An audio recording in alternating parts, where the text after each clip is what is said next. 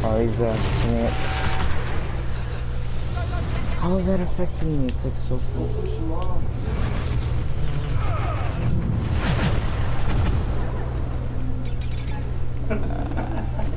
Ow.